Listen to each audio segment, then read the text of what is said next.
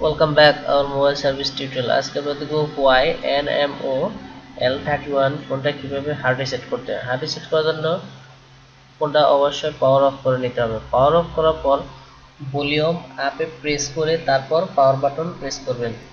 যখন power button press করবেন ফোনটা ভাইব্রেট করবে, তখন পাওয়ার বাটন ছেড়ে দিবেন। ভলিউম আপ বাটন কিন্তু ধরে রাখতে হবে। যতক্ষণ পর্যন্ত রিকভারি মোডটা না আসে।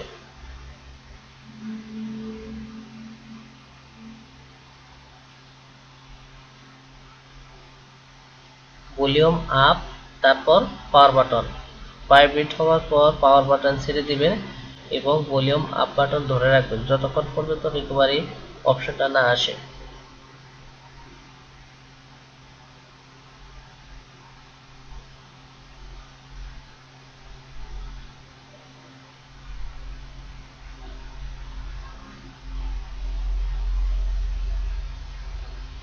এই যে রিকভারি অপশন চলে আসে উইব ডাটা ফ্যাক্টরিতে সিলেক্ট করবেন। তারপর ইয়েস নো আছে এবং নিচেরটা ওয়েব ডাটা ফ্যাক্টরি আছে। ওয়েব ডাটা ফ্যাক্টরিতে প্রেস করার পর ফোনটা অটোমেটিকলি ফ্যাক্টরি রিসেট নিতে থাকবে। এক থেকে একশো পার্সেন্ট হওয়া পর্যন্ত অপেক্ষা করতে হবে।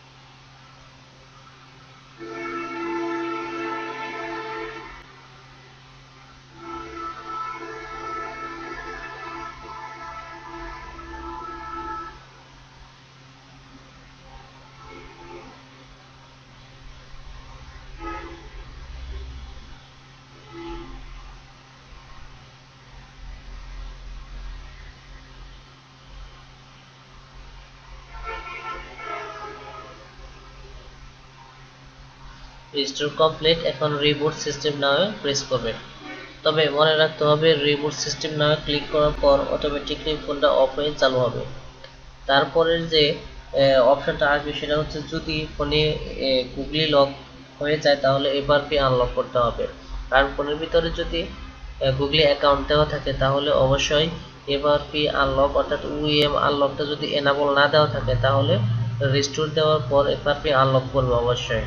আর যদি ওটা এনাবল দেওয়া থাকে, তাহলে এফআরপি আনলক হবে না।